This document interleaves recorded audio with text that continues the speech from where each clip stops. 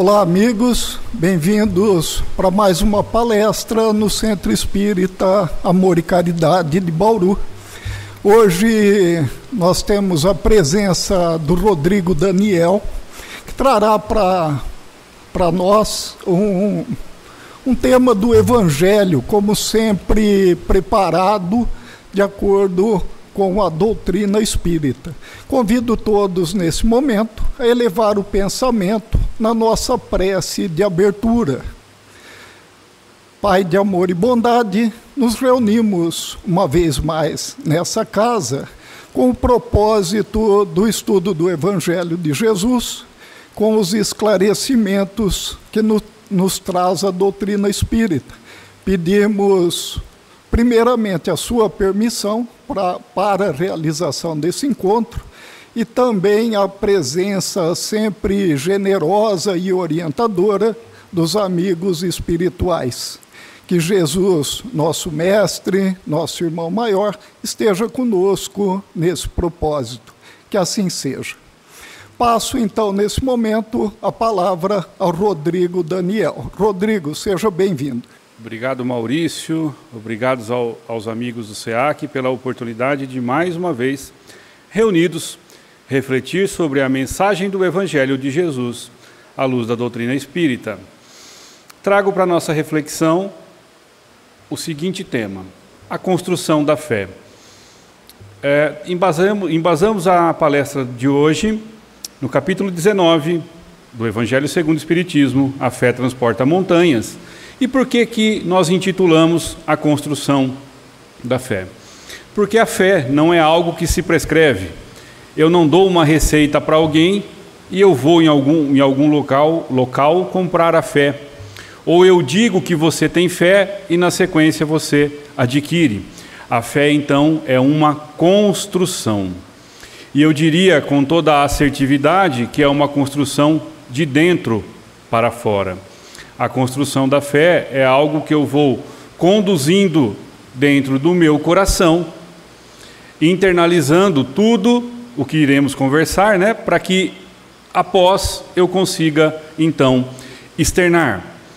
Então, como eu disse, a fé não se prescreve, a fé se constrói.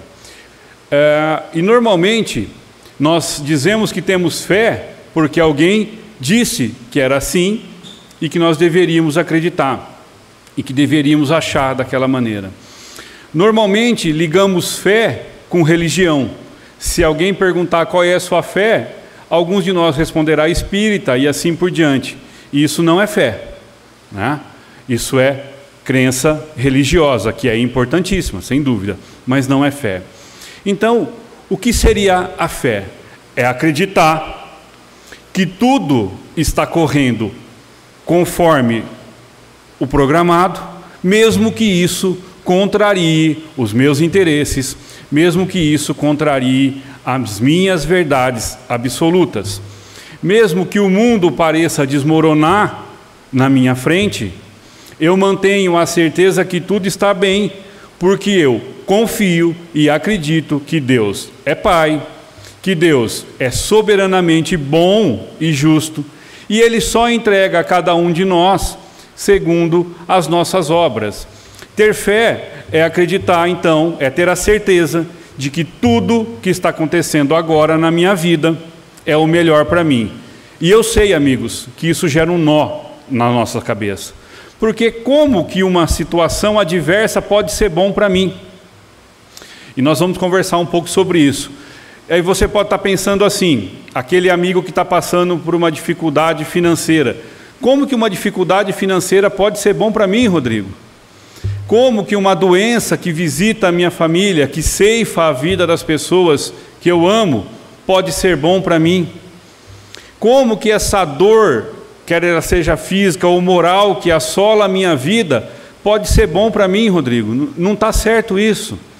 Vamos consultar Kardec no Evangelho segundo o Espiritismo, capítulo 2, Meu reino não é deste mundo, o item quinto, intitulado Ponto de Vista.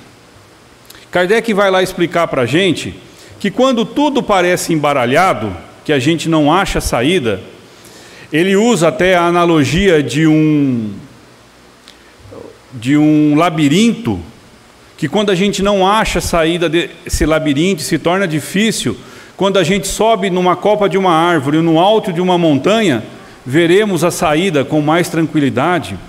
Ele faz essa analogia para mostrar para nós que quando pela presente vida, pela vida essa vida encarnada, nós não achamos saída, está na hora de mudar então o ponto de vista. Está na hora de eu olhar com o prisma da vida espiritual. Quando eu me enxergo, então, espírito imortal que sou, que trago uma bagagem espiritual comigo, que trago sequelas e consequências dos meus atos, quando eu pondero que eu estou no mundo de provas e expiação, aonde o mal sobrepõe o bem e esse mal é dentro de mim, eu começo a entender então o porquê das mazelas que estão me afligindo. Eu começo a entender que aquela dor, aquela situação adversa, ela tem um único objetivo que é me educar.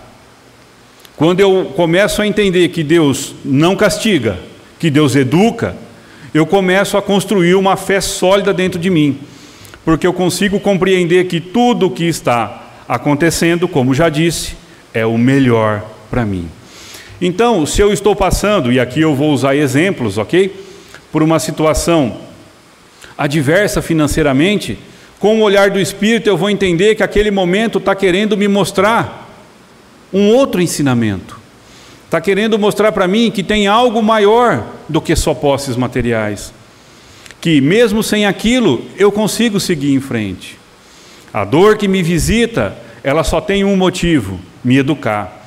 Se eu parar de perguntar para Deus por que, que o Senhor está fazendo eu sofrer tanto, que é típico nosso, a nossa posição de coitadinhos, e olhar para Deus e disser: Senhor, para que essa doença, essa dor ou essa adversidade chegou na minha vida? Para que eu estou experimentando tudo isso? Quando eu mudar a pergunta e mudar meu foco de entendimento, vai ser para mim a construção dessa fé. Porque confiar em Deus, quando tudo corre bem, pelo nosso prisma, quando a minha vida amorosa está bem, quando minha família está saudável, quando tudo que eu desejo, materialmente falando, eu tenho. Você tem fé em Deus? Tenho. Aí eu diria que é até fácil, até gostoso. Mas e manter essa confiança em Deus então, quando as coisas saem ao nosso controle? E amigos, Construção de fé, nós estamos falando na fé moral, na fé raciocinada, nós estamos expandindo o entendimento de uma fé que às vezes a gente diz que focada nas conquistas da matéria, e sim uma fé focada nas conquistas morais, que é, no fundo, o que nós viemos aqui buscar. Quando nós chegamos então ao Evangelho, capítulo 19, aonde Kardec vai trazer uma passagem para nós que está em Mateus capítulo 17, versículos 14 a 19, que é aquela passagem onde Jesus vai dizer, né, se tiveres fé do tamanho de um grão de mostarda, peça para que essa montanha mova-se daqui para lá, e ela se moverá. Eu queria conversar um pouquinho com vocês sobre essa passagem, com algumas coisas que a gente lê, às vezes na, lê de carreirinha e não presta atenção, ela tem riquezas de detalhes importantes para nós. Né? A narrativa vai dizer que um homem chega aos pés de Jesus e diz: Tem piedade do meu filho, porque é lunático, sofre muito com isso. Muitas vezes cai no fogo, muitas vezes cai na água. Eu apresentei a teus discípulos, mas eles não puderam curá-los. E aqui eu peço para que a gente faça um parênteses. Quando a gente vai falar dos discípulos, não dá mais para imaginar que aqueles doze, os primeiros, aqueles que pavimentaram o caminho para o cristianismo. Eu te convido a perguntar, eu te convido a refletir, melhor dizendo. Nós não somos discípulos de Jesus? Nós não acreditamos em Deus? Não sabemos qual é a sua lei? Nós não acreditamos em Jesus? Nós não disseminamos as suas palavras? Nós não acreditamos na sua proposta de amor? Sim. Então somos discípulos. E essa conversa então transcorre agora, na presente data. Nós não pudemos curá-lo. Quantas vezes vêm até nós irmãos angustiados, doloridos, machucados pela vida, e ele só precisa muitas vezes do meu ouvido, do meu abraço, do meu carinho. E quando ele vem contar os problemas dele para mim, eu devolvo os meus para ele, dizendo que você não viu o meu, quanto eu sofro, o quanto é difícil. Aquele irmão precisava da cura, ele precisava do amor, e nós negamos isso para ele. Às vezes, muitas vezes, sem perceber que estamos fazendo. É por isso que eu disse e repito que a fé é uma construção. São nessas situações aonde os irmãos, os amigos nos visitam pedindo o nosso carinho e o nosso amor, que eu preciso renunciar a mim mesmo para poder curar o outro. Porque aqui, entre nós encarnados, nós não vamos fazer coxo andar, cego enxergar, fisicamente falando. Dificilmente. Mas nós vamos fazer um irmão que estava doente pelo ódio, pelo rancor, a enxergar uma outra via, a via da paz, da bondade e, e da beneficência. É nesse sentido que ele narra que os discípulos não puderam curá-lo. Porque muitos podem estar me assistindo e dizendo assim, mas eu não tenho o dom da cura, Rodrigo. Eu concordo, nem eu. Mas eu tenho o dom do abraço, o dom do ouvido, o dom do carinho. Traz uma narrativa de Chico que uma mãe que tinha perdido o filho de forma trágica chega até ele procurando consolo. E é importante a gente fazer essa reflexão, porque se essa mãe procurasse nós, do alto do nosso cabedal doutrinário, nós diríamos para ela: fica tranquila, teu filho está nos braços de Jesus, ele, a vida continua, você vai encontrá-lo. E tudo isso que eu estou dizendo é verdade. E é consolador eu saber que eu vou reencontrar aquele que foi antes de mim. Mas para uma mãe que tinha acabado de perder o filho, vocês acham que isso consolaria? Chico a abraça e chora com ela, copiosamente. E depois disso, os amigos, os companheiros de trabalho de Chico perguntam para ele: Mas Chico, por que você não orientou ela? Porque ela só precisava do meu abraço. Ela precisava de alguém que chorasse junto com ela, que sentisse a dor que ela estava sentindo. Isso chama-se empatia. Isso chama-se colocar no lugar do outro, mas sem os meus preconceitos. É se colocar no lugar do outro sentindo a dor que ele sente. Rodrigo, o que, que isso tem com construção de fé? Eu vou vendo a dor do outro, consolando o seu coração, eu vou aprendendo a entender e compreender em cada ato a misericórdia de Deus. Quando a dor do meu irmão não dói em mim, o doente sou eu. Quando a dor do meu irmão me comove, significa que algo se transformou dentro de mim.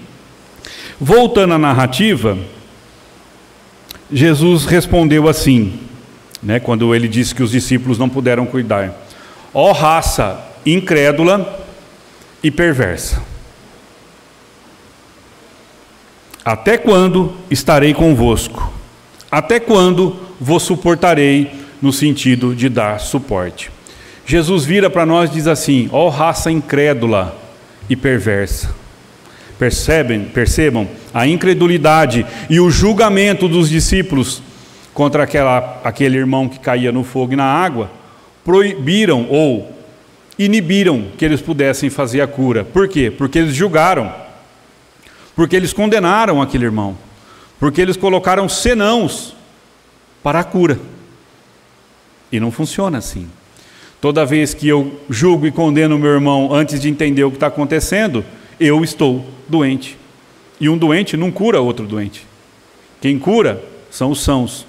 E é disso que Jesus está conversando conosco, né? E ele diz: Até quando vos suportarei? Não é no sentido de tolerar, é de dar suporte. Até quando vocês acham que eu vou estar aqui? E aqui nós vamos ampliar a conversa para fazer a cura. É claro que Jesus veio nos ensinar a vida futura. E é claro que ele nunca foi, ele continua conosco. Mas até quando nós precisaremos de Jesus para aprender que o amor que o amor é o único caminho. Jesus já nos ensinou. Ele nos relembra a todo momento. Mas esse suporte da nossa parte precisa acabar, porque eu preciso entender que o amor é a única via que me resta. É a única via que eu devo seguir, porque é lá, no amor construído, passou pelo embasamento da fé que nós tanto, estamos conversando na noite de hoje. E a narrativa diz que Jesus, tendo ameaçado o demônio, ele saiu do menino. Com doutrina espírita, nós aprendemos que a simples presença do bem afasta o mal. Vamos ver se isso é verdade? Já fizeram um teste numa roda de conversa? Eu sei que espírita não fala mal da vida do outro, ele faz observação. Mas quando estiver tendo essa observação da vida alheia, chega e silencia, não fala, não entra na conversa, muda a conversa. Faça uma oração, aquela conversa se dissipa por si só. Então, a simples, que não é simples, mas a presença de Jesus foi o suficiente para afastar aquele espírito que estava obsediando o jovem. Então, eu posso afastar o mal do meio onde eu vivo? Sim, se você for o bem, se você quiser o bem, ah, Rodrigo, mas o meu dia foi tão difícil, eu não estou conseguindo. Você não sabe quando está difícil para mim. Eu sei, porque está difícil para mim também. Mas a decisão de fazer o bem independe do que eu estou sentindo. Porque as provas, as expiações que eu necessito para a minha evolução acontecerão de qualquer maneira, mas elas podem acontecer e eu continuar auxiliando o próximo. Percebam que há uma ruptura, uma quebra de paradigma. Eu não preciso estar sem dor nenhuma para cuidar do meu irmão. Pode estar doendo, mas eu renuncio e sirvo. Renuncio e continuo servindo. É, esses são os ensinos que Jesus, ou um dos, né? Ensinos que Jesus nos traz nessa parábola. E aí? Acabou.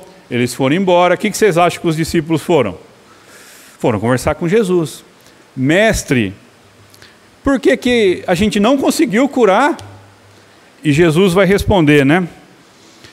Por causa da vossa incredulidade. Pois em verdade vos digo: se tiverdes fé do tamanho do grão de mostarda, dirá para essa montanha: transporta-te daqui para lá, e ela se transportará. Muito bem, quando Jesus está dizendo que é por causa da nossa incredulidade, a gente precisa olhar para alguns exemplos e depois olhar para a nossa vida, e nós vamos ver quanto a incredulidade ainda é perniciosa e destrutiva para mim, para mim mesmo, para você. Porque nós vamos lembrar agora, os doze discípulos, aqueles que estavam mais próximos de Jesus, viram muitas de suas curas viram muito dos milagres que o Cristo proporcionou. Viram o amor de Jesus em movimento. Viram Jesus experimentando e vivenciando e aplicando o amor. E mesmo assim tinham incredulidade. Então é claro que a incredulidade é algo que está dentro de nós ainda, que nós precisamos trabalhar. Nós vamos trazer alguns exemplos, um ou dois exemplos dos discípulos, e depois eu vou convidar que você olhe para a tua vida, que eu olhe para a minha vida, e ver quantas vezes a incredulidade impediu de a gente seguir adiante. Tem a narrativa, né? De Jesus orando no monte e os discípulos no barco. Prestem só atenção nesses pequenos detalhes. Jesus orando e os seus discípulos próximos no barco. Dormindo. Olha só que discípulos, né? Que nós somos. Muitas vezes a gente dorme e às vezes por encarnações dormimos. E a narrativa conta que Jesus vai ao encontro dele, andando, deles andando sobre as águas. E eles tomam um susto quando vê aquilo acontecendo. E Simão, Simão Pedro, o apóstolo Pedro, vira-se para Jesus e diz: Quem és? Jesus diz: Sou eu. Jesus. E aí vem a incredulidade, a primeira. Se és tu mesmo, Senhor, faça com que eu caminhe até as, sobre as águas até ti. E Jesus diz: Então venha. Simão sai do barco e começa a andar sobre as águas aos encontros de Jesus. Nesse momento, a nossa fé está hard. Ó, oh, estou andando na água. E traz a narrativa dizendo para nós que houve ventos contrários. E nos ventos contrários, Simão duvida e afunda no mesmo instante. Antes de continuar a história, vem as nossas reflexões. Quando tudo está bem, a gente está confiante. E os ventos contrários, eles não sopram na sua vida, irmão? Sopram. E tem que soprar. Porque são eles que vão moldar, que são eles que vão transformar, transformar-nos, melhor dizendo, em espíritos melhores. E aí eu duvido? Duvido. E aí eu afundo. E às vezes afundamos numa profundidade que é de assustar. Mas Jesus vem para Simão e para nós e estende a mão, se nós assim desejarmos. E Jesus então tira Simão do fundo da água, olha bem nos olhos dele e diz: Homem de pouca fé, por que duvidastes? Toda vez que eu falo sobre isso, ou toda vez que eu leio essa narrativa, parece ecoar dentro do meu ouvido essa conversa homem de pouca fé. Por que duvidastes? Vamos a exemplos do nosso cotidiano. Nós já passamos pela experiência, por exemplo, de perder o emprego, acho que a grande maioria já. E a gente quer muito aquele outro emprego, aquela chance de sustentar a nossa família, de satisfazer os nossos prazeres, as nossas necessidades materiais, que são dignas e são justas, digo de passagem. Só que às vezes surge aquela vaga que eu tanto queria, mas a minha incredulidade na minha capacidade é tanta, o meu medo me paralisa e eu não vou, por exemplo, à entrevista. E Jesus está falando para você, para mim, homem de pouca fé, por que duvidas? Por que, que nós duvidamos tanto de nós mesmos? Por que, que nós não temos a certeza de que nós somos bons no que, no que nós podemos ser hoje? Naquilo que eu consigo ser bom hoje, eu sou. Por que, que eu não consigo ampliar esse horizonte? Por que, que de fato eu não confio que eu sou capaz de modificar as montanhas? São perguntas, amigos, que eu estou fazendo para vocês, estou fazendo para mim mesmo. Perguntas essas que, se respondidas de forma honesta, transparente, vai construir essa fé que eu estou dizendo. Porque eu vou entender qual que é o meu papel no universo e o meu compromisso. Eu não vou parar mais de duvidar. Num outro exemplo, eu vou usar Simão Pedro. O, o Maurício sabe que eu sou um apaixonado por Simão Pedro, porque eu olho para a rocha do início, duro de coração, rude, e depois a rocha da fortaleza moral do Evangelho. E eu me identifico muito com Pedro, só que infelizmente para mim na primeira parte ainda, né? Mas também sei que é possível transformar-nos numa única encarnação, como foi com Pedro. Então ele viveu ao lado do Cristo, presenciando a paz, a tranquilidade, o Cristo nunca revidando, sempre dando um bom ensino, uma boa palavra, e chega o momento da crucificação, ou o momento da prisão, melhor dizendo, aonde Pedro tira a espada e corta a orelha do soldado romano. vamos encontrar Jesus dizendo para ele: Simão, embainha a tua espada, pois quem com o ferro fere, com o ferro será ferido. Quantas vezes a vida vai nos ferir? Quantas vezes a vida vai talvez ferir pessoas que nós conhecemos? Quantas vezes pessoas vão nos machucar? E como é que eu revido? Eu ainda tiro a espada e ouço o Cristo dizer: quem com ferro fere, com ferro será ferido. Ou eu já entendi essa proposta e ofereço a outra face. Ofereço a face do bem, da bondade, do amor, da benevolência.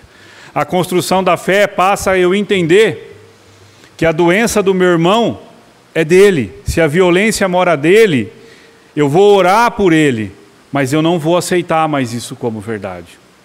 Eu vou aprender a não mais revidar. Eu vou aprender a olhar para ele e entender que ele ainda é um doente do espírito, como eu sou doente do espírito.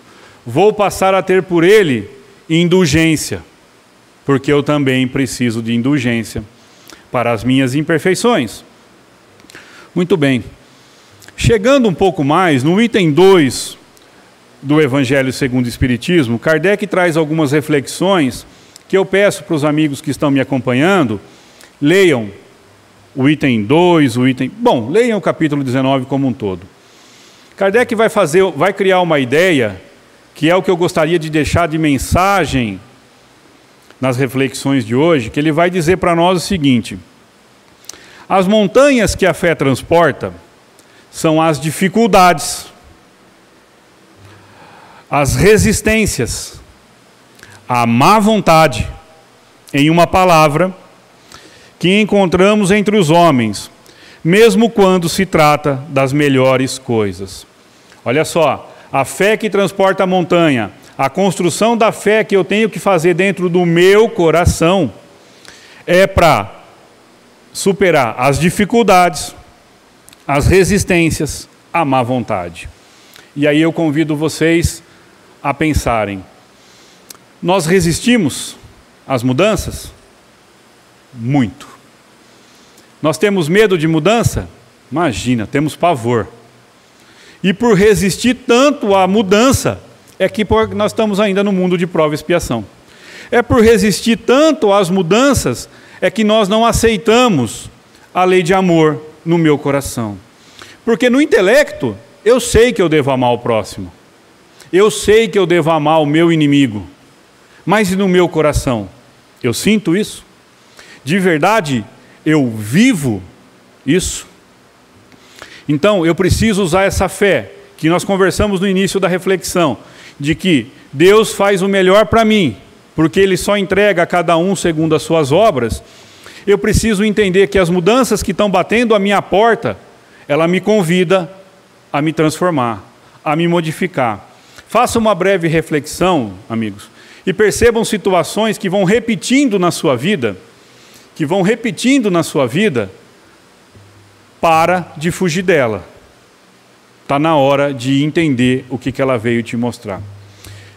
Eu, por uns 15 anos, eu tentei direcionar, eu vou falar da vida material, a minha carreira profissional para um tipo de trabalho, porque era o que eu gostava.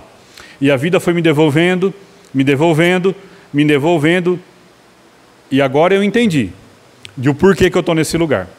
Porque eu preciso aprender um monte de coisas já aprendeu tudo, Rodrigo? Não, mas agora pelo menos eu aceitei que eu tenho que estar aqui.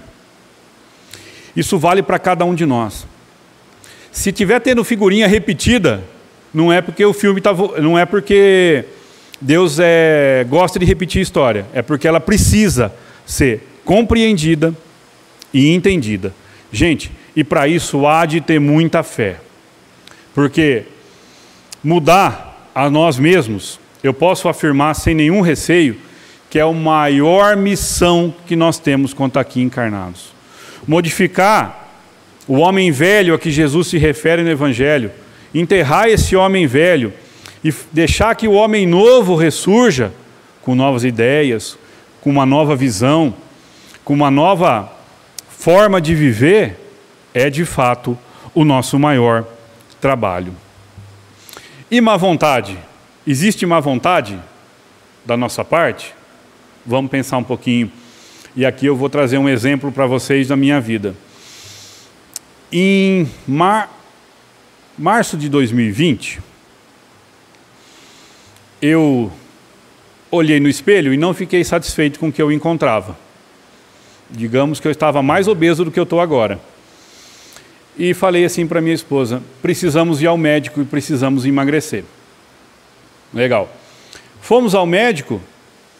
Óbvio que ela, no caso a médica, é óbvio que ela disse assim: ó, para de comer massa, para de tomar refrigerante, é, começa a melhorar a sua alimentação, coloca exercício físico na sua vida. E para te ajudar, eu vou te dar esse remédio aqui. Olha que legal.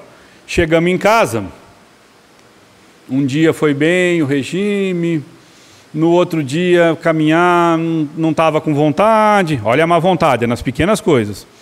E aí a gente tomou o remédio. O remédio era fácil.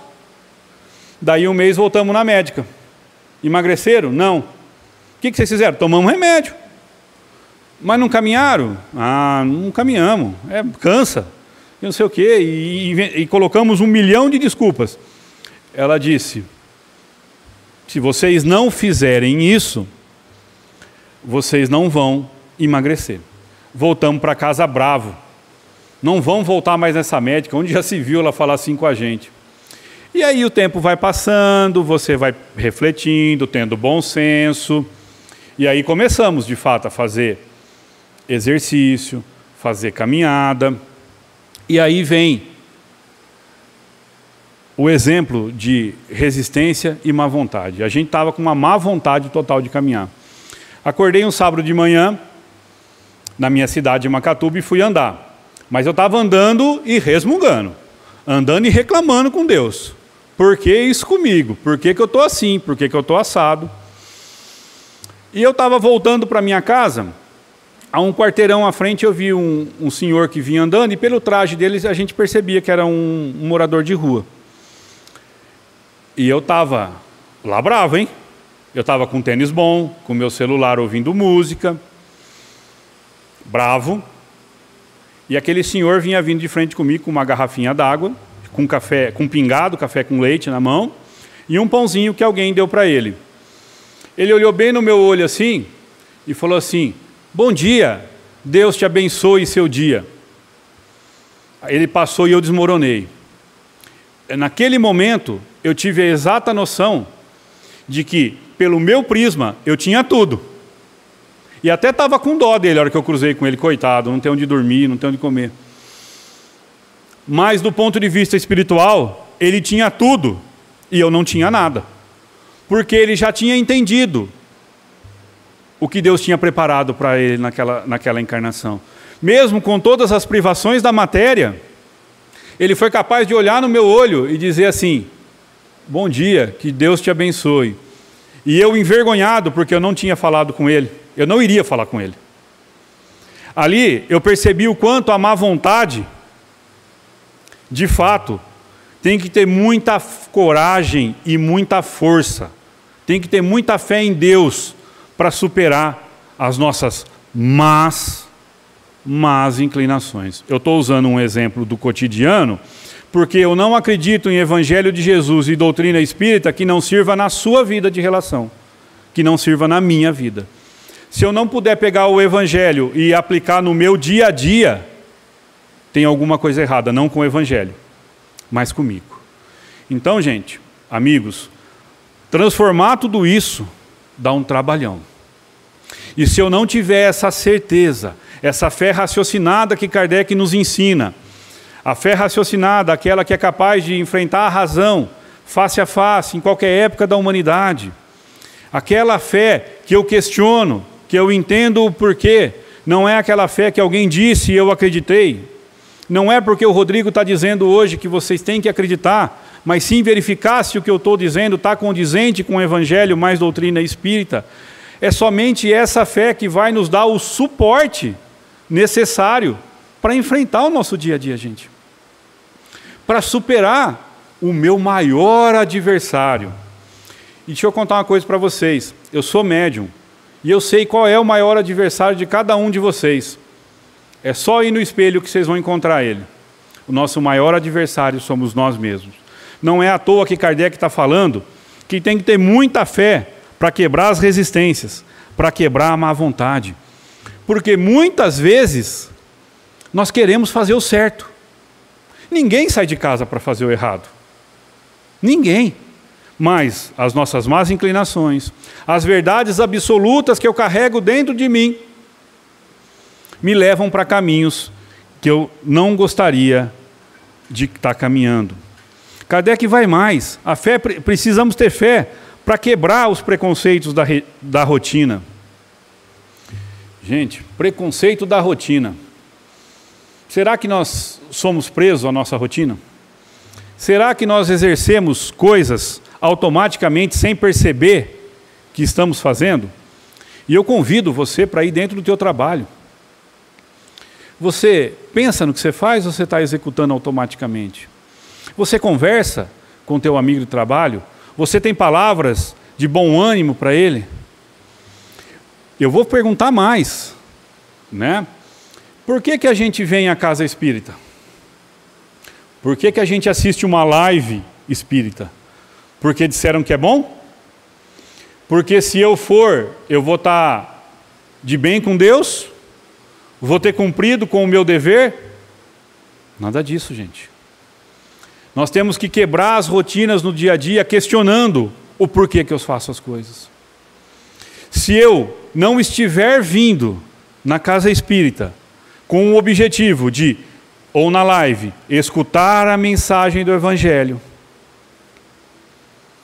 refletir se isso cabe na minha vida, e vai caber, e como que eu aplico isso no meu dia, e ter força e coragem para aplicar, tem algo errado. Se eu tiver vindo na casa espírita só por causa do palestrante, se eu tiver vindo na casa espírita só para o passe, não que o passe não seja importante, ele é muito importante, mas ele não deve ser um móvel que nos move. Tem algo errado. A rotina está falando mais alto dentro de mim. Eu faço aquilo repetidamente sem me questionar por quê. Os amigos que me conhecem sabem. Eu reflito bastante nesse sentido.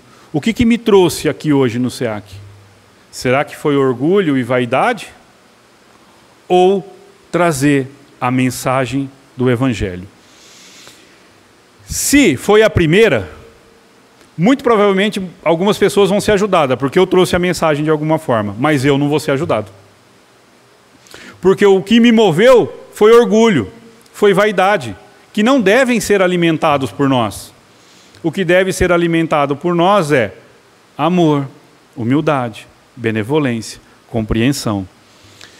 Andando mais um pouquinho, ele diz para nós assim, ó, que a fé que transporta a montanha tem que nos quebrar o interesse material, o egoísmo, a cegueira do fanatismo, as paixões orgulhosas, são outras tantas montanhas que atravancam o nosso caminhar.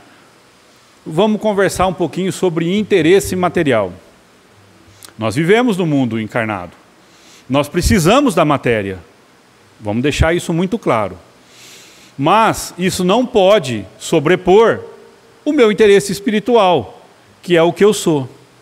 Então, muitas vezes nós vamos negligenciar o que eu já sei como verdade e o que é bom para fazer os interesses da matéria. E quebrar com isso, gente, é tão difícil. Eu vou dar um exemplo aqui que pode parecer pueril, mas que a gente vai mandando mensagens para aqueles que vivem ao nosso redor.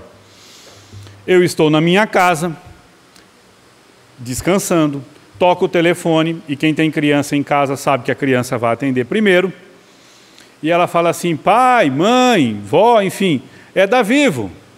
E eu vou dizer assim: fala que eu não estou.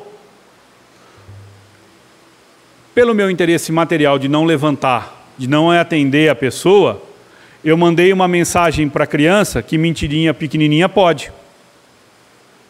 Percebam? Só a fé, a certeza em Deus é que faz que eu não cometa uma, um erro desse. Então é chegado o momento que eu tenho um compromisso na casa espírita. Ou eu tenho o compromisso do passe, ou eu tenho o compromisso da palestra, ou enfim, ficar na porta recebendo as pessoas. E é bem na hora do jogo do Palmeiras. E naquele dia eu não vou. Eu digo para mim mesmo: eu não sou importante lá hoje. Tem pessoas que podem fazer. O interesse material dominando o interesse moral, espiritual.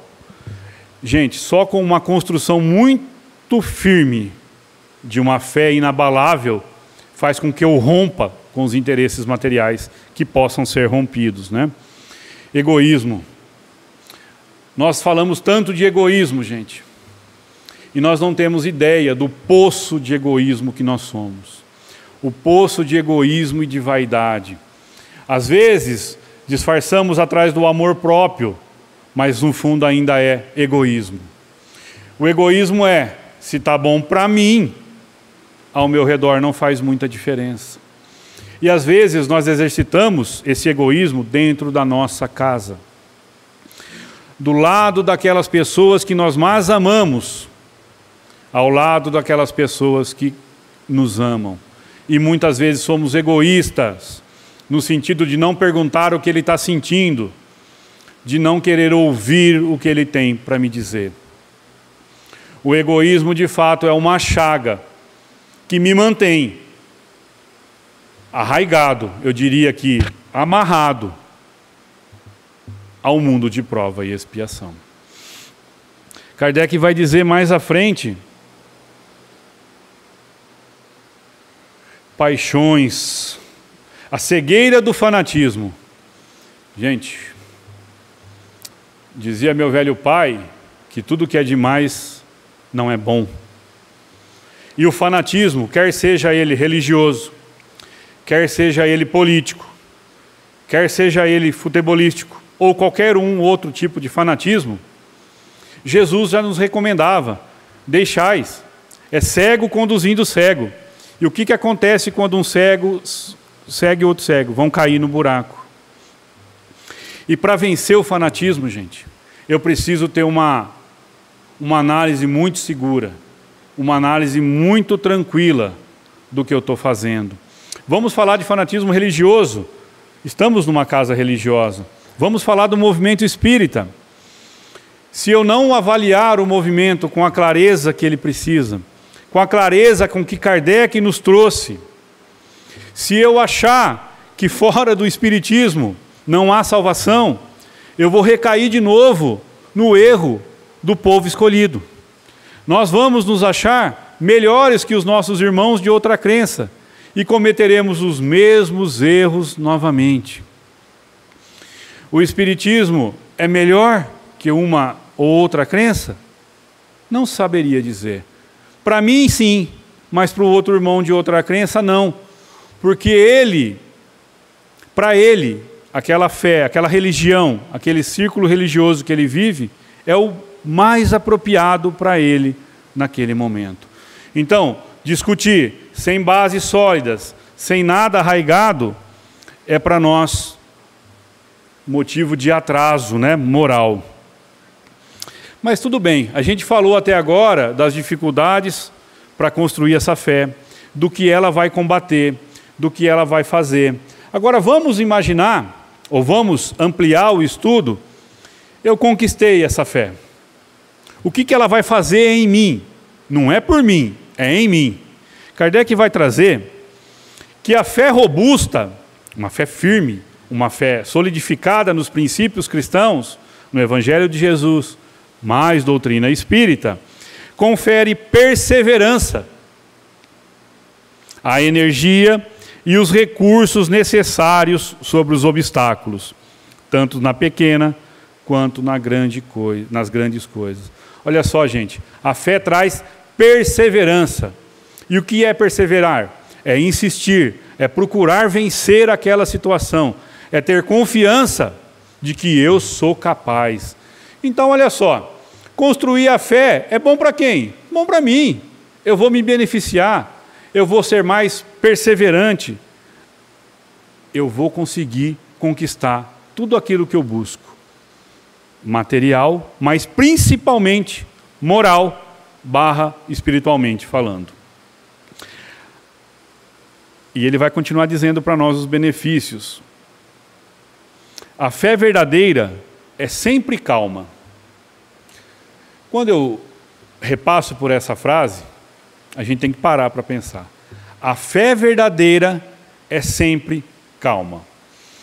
Nós vamos olhar de novo lá para Jesus, sendo preso e dizendo para Pedro: embainha tua espada. Por quê? Jesus sabia que ele precisava experimentar tudo aquilo que ele passaria. Então ele se manteve calmo. Quando a doença, a dor me visita, demonstração de calma significa que eu tenho certeza de que está tudo bem. Então, o efeito colateral da fé é calma. Confere paciência que sabe esperar. Gente, paciência que sabe esperar está tão longe de nós. Nós vamos recorrer à oração do Pai Nosso, onde nós dizemos assim: Senhor, seja feita a tua vontade. Nas letrinhas pequenas, nós estamos dizendo assim: Mas se for de igual à minha vontade, quão bom será, não, Senhor? E se o Senhor fizer rápido, então, que bom. Então, a paciência que sabe esperar é algo ainda que nós temos que construir. A paciência de saber esperar. Por que, que eu espero? Porque está apoiada na inteligência e na compreensão das coisas.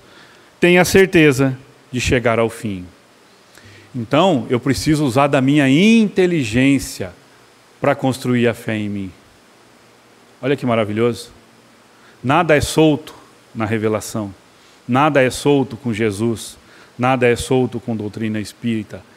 Eu vou avaliando e construindo em mim a fé. Para isso eu preciso usar calma, paciência, mas principalmente inteligência. E, na, e no dicionário de hoje, inteligência emocional algo raro nos nossos dias. Porque o imediatismo, a contrariedade é algo que nos aflige, que nos adoece, gente. Que nos adoece. Haja vista o número crescente de depressão entre nós. Estamos doentes. Por quê? Não queremos esperar e não usamos a nossa inteligência emocional para entender que Deus de fato não é no discurso, que Deus de fato está no controle de tudo. No controle de tudo. Ah, Rodrigo, e o meu livre-arbítrio? Sim, você tem o livre-arbítrio. Mas nós vamos aprendendo com a fé, com a inteligência e com a perseverança, que quanto mais eu amplio isso, mais o meu livre-arbítrio me leva ao encontro da vontade de Deus porque lá é o melhor para mim. E eu vou descobrindo isso sozinho. O meu livre-arbítrio eu vou usando de forma errônea, porque afastado da lei de Deus, egoísta e orgulhoso que sou, acho que eu resolvo tudo. E não é assim que as coisas funcionam. E nós vamos descobrindo que quanto é bom compreender e viver o Evangelho de Jesus. E ele vai trazer o contraponto. A fé insegura sente a sua própria fraqueza. Quando estimulada por interesses, torna-se furiosa e acredita suprir a força com violência. Sabe quando a gente vacila e a gente vacila? Que sentimento que ronda vocês, que me rondam? Impotência, fraqueza. E se eu não parar, se eu não parar para refletir, a raiva vai tomando conta de mim. E de fato eu começo a brigar e querer conquistar as coisas na força, porque eu não tive a paciência de esperar o tempo. Para a gente finalizando a reflexão, as reflexões, melhor dizendo, Kardec vai finalizar no item terceiro dizendo assim: a calma na luta é sempre um sinal de força e de confiança, enquanto a violência, pelo contrário, é prova de fraqueza e de falta de confiança em si mesmo. Eu vou trazer um exemplo para ilustrar. É, para quem já assistiu o filme de Chico, para quem não, eu vou ter que fazer um spoiler, vocês me perdoem. Tem uma passagem no filme que Chico vai exatamente ilustrar a calma na luta. Ele já está atendendo então na sua casa, então as pessoas vão procurando auxílio, procurando amparo. Ele morava ainda com a irmã. E a casa foi se tornando uma confusão, era um entra e sai de gente, um pronto socorro de verdade aonde as pessoas iam procurar auxílio. E num belo dia, a irmã cansada de tudo aquilo, não via nenhum retorno pelo prisma dela, pelo olhar dela, chama Chico no cantão. Sabe quando a gente chama no cantão para dar uma dura? E diz assim: Chico, isso aqui está uma bagunça. A irmã, hein, gente? Isso aqui está uma bagunça, é um entra e sai de gente, não tem hora, a gente não tem paciência, a gente não consegue nada com isso. Ela estava falando materialmente, né? E no final da conversa, ela diz para Chico assim: ou essas pessoas param, ou você sai de casa. E para quem vê o filme, Chico coloca a mão na nuca da irmã, com um sorriso, dá um beijo na testa dela e não fala nada. Chico, naquele momento, entendeu que a calma na luta é sempre sinal de força e confiança. Ele entendia que a irmã não compreendia o seu projeto, o seu trabalho, mas ele não quis modificar ela. Em nenhum momento ele agiu como muitos de nós agiríamos. Você não pode fazer isso comigo, olha quanto eu sou bom, quantas pessoas eu estou ajudando. Você não está percebendo? Ele não faz nada disso. Ele, de fato, sai de Pedro Leopoldo após o episódio, vem para Uberaba, constrói o trabalho fantástico que todos nós conhecemos e agradecemos o trabalho de Chico. E no final do trabalho, a irmã, quando depois entende tudo aquilo e vem ajudar ele a exercitar. Então vejam só, ele podia ter se ele podia ter brigado com a irmã. Ele podia ter se enraivecido. Ele podia ter usado de violência. Ele não conseguiria nada com aquilo. Ele manteve a calma, porque ele, a fé estava tão bem construída dentro do coração dele, que ele sabia que a irmã precisava de um tempo para entender. E ele continuou fazendo o bem. Ele não ficou triste com a irmã? Provavelmente, mas ofendido não. Mesmo triste, ele seguiu em frente e praticou o bem. E a mensagem que eu quero deixar para nós é que, mesmo triste, irmão, siga em frente, construindo no seu coração a fé inabalável que vai te trazer a paz, a perseverança, a alegria e o amor. Mesmo doendo, siga em frente. Não titubeie, não afunde no mar. Siga firme, siga em frente. Ventos contrários virão? Sim. Vários, muitas vezes. Podem nos balançar? Pode. Mas se perseverarmos na certeza de que Deus e Jesus controlam, eu sigo de mão dadas com Ele em frente. Que a construção da fé seja para nós motivo de trabalho, de edificação no coração de todos nós.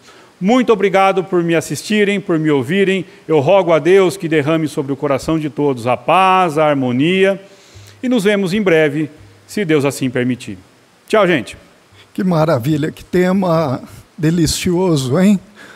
Rodrigo, obrigado por trazê-lo para nós. Eu queria te fazer uma pergunta, até aproveitando. Você falou quando as coisas são recorrentes, a gente deve verificar se é para mudar de caminho. Bom, meu time de futebol ele costuma sair na frente e ficar na frente o campeonato todo. E depois alguém vem e fica em primeiro, outro fica em segundo. Seria isso uma mensagem? Obrigado, Rodrigo.